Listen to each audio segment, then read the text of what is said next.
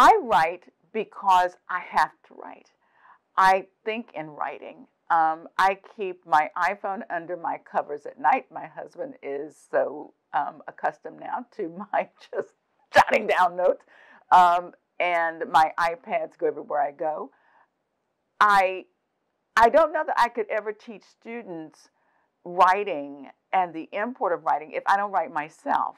And and I think that's if there's one weakness I think the profession has at this moment is that we've so divided um, literature from grammar, grammar from writing, that students don't ever see the connection. So they don't see that we're actually giving them a life skill.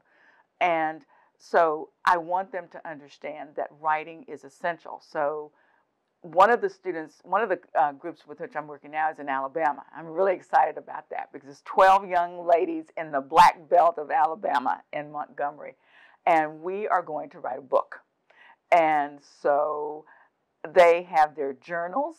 And um, uh, Tanya Perry, who's also a member of NCTE, and Emily Kirkpatrick are fully behind this little initiative. And uh, we have our first virtual class on Monday.